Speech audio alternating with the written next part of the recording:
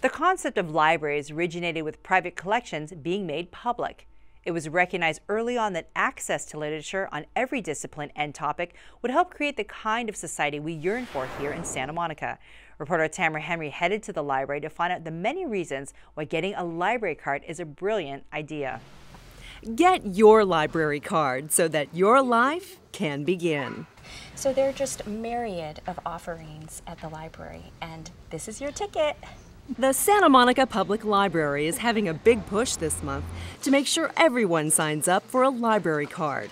And when you sign up during the month of September, your name is entered into a drawing where you could be the lucky winner of an iPad mini. And we also have something called BrainFuse, and that's live tutors online, and that can be from home or in the library itself.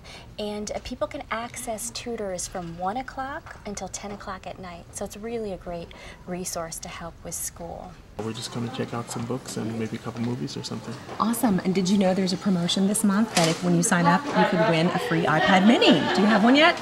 No. What would you do with an iPad mini? Download games and play them. Awesome. But there's lots of games here at the library. Educational games for early literacy for ages 2 through 8. And adults can get free access to databases like Value Line Investment Survey, for example, and rows and rows of DVDs for the movie lover.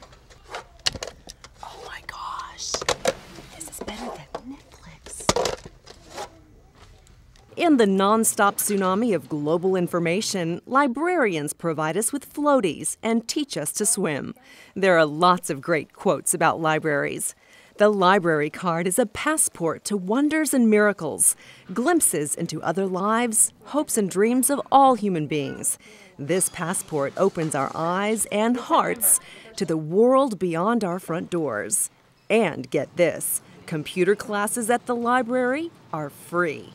It's everything from the most basic computer skills uh, to learning to search the internet to more advanced things like uh, Microsoft Excel, PowerPoint, and Word, and sometimes special topics. Uh, we've done job searching before, we've done classes on social media, uh, things like Facebook, and sometimes really cool cutting edge stuff like apps for the library.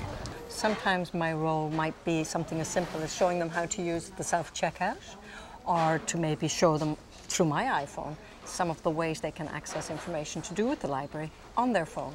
What's in your wallet? A library card? Life is buzzing at the library, or at all five libraries for that matter. Really?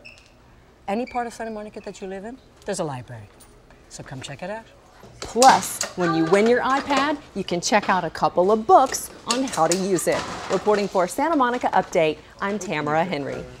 When you get your library card, make sure to check out all the author talks, staged readings, book discussion groups, film series, classes, and workshops. Find out how by signing up at smpl.org.